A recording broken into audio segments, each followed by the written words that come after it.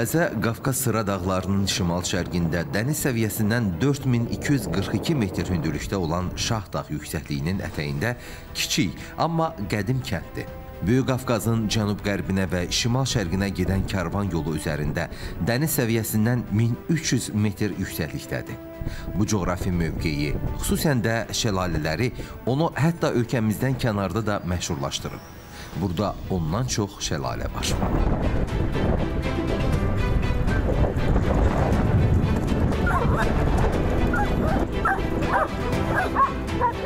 Yay aylarında turistləri özünə cəlb edən ləzə şəlalələri qış aylarında da öz marağını itirmir. Yayda gür axan bu şəlalələr qışda donaraq fərqli bir mənzərə yaradır. Ona görə də adrenalin sevərlər və ekstremal idman növü ilə məşğul olanlar üçün bura ideal məkandır.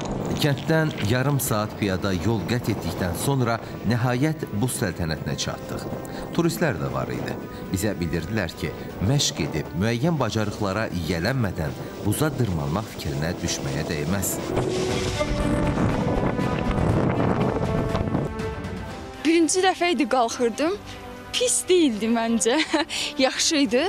Daha sonrakılar 2-3 daha çox məşq elədikcə daha çox uğurlu olur. Çox maraqlı bir sahədir. Çox soyuq olsa belə, çox çətin qalxsaq belə buraya, yenə buna dəyər yəni. Я первый раз в жизни пробовал, попробовал ледолазание. Ömrümdə birinci dəfə idi ki, buza dırmanırdım. Çətin idman növü olsa da çox maraqlıdır.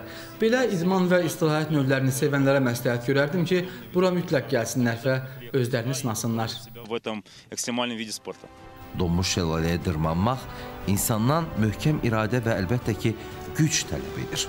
Bunun üçün həm ayaqların möhkəm yerdə dayanmalı, həm də balta ilə yaxşı işləməyə bacarmalısan. Elə məqamlar olur ki, bir anlıq yaşamaq uğrunda mübarizə apardığını hiss edirsən və həyəcanlanırsan. Əvvəlcədən hazırlıq da əsasən bunun üçün lazımdır.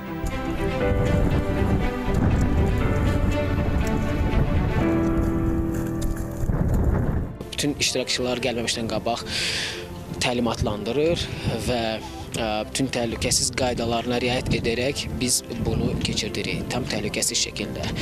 Ну, yenə də bu ekstremal bir idman növü olduğu üçün ə, təhlükələr var. Ə, onları çalışırıq minimumlaşdıraq, çünki buz qopub düşə bilər, dəyə bilər. Amma çox da narahat olmağa dəyməz. Çünki ipin başqasının əlində olur. Sözün əsl mənasında.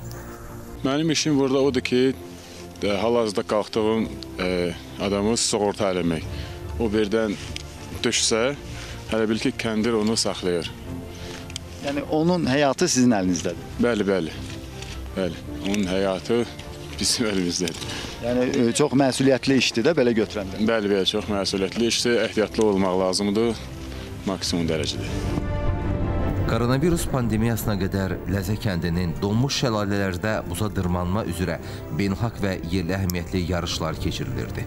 İndi yarışlar olmasa da təlimlər davam edir. Amma virusun artıq tədricən geri çəkildiyini nəzərə alsaq, növbəti qış Ləzənin yenidən yarış yerinə çevriləcəyinə ümid etmək olar.